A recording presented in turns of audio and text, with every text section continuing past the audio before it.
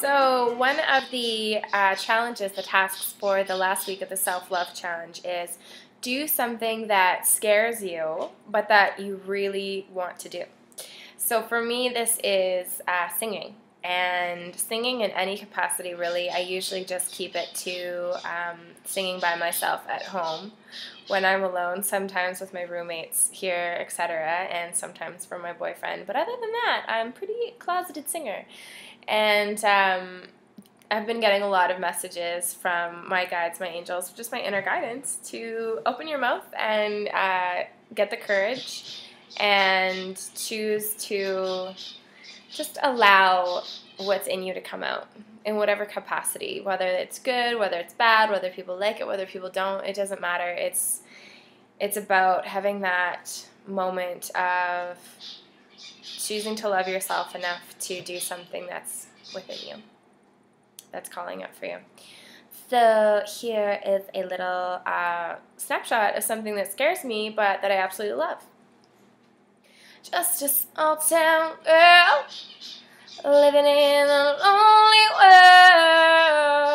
world. She took the midnight train going anywhere.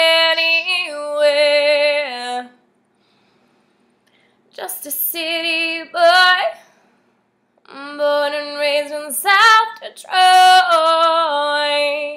He took the midnight train going anywhere.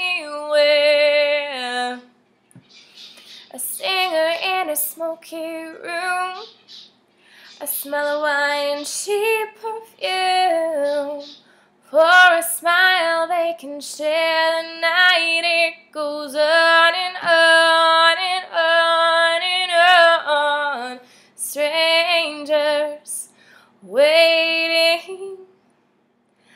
up and down the boulevard, their shadows searching in the night.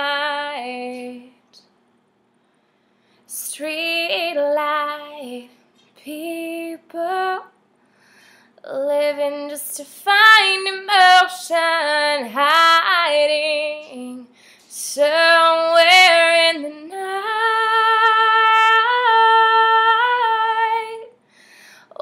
Working hard to get my feel. Everybody wants a thrill, paying anything to roll the dice just one more time. Some will win, some will lose.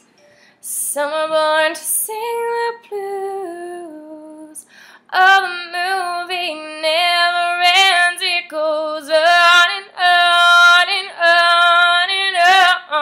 on. Strangers waiting up and down the boulevard, their shadows searching in night, night, street light, people living just to find emotion hiding Somewhere in the night,